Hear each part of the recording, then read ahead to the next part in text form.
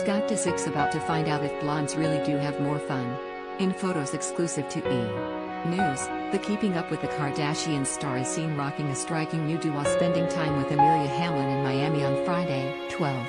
The platinum blonde makeover is quite a departure for the 37-year-old whose brunette flow has become key to Lord Disick's charm. However, the Disick men aren't exactly newbies when it comes to taking risks in the salon chair. Case in point?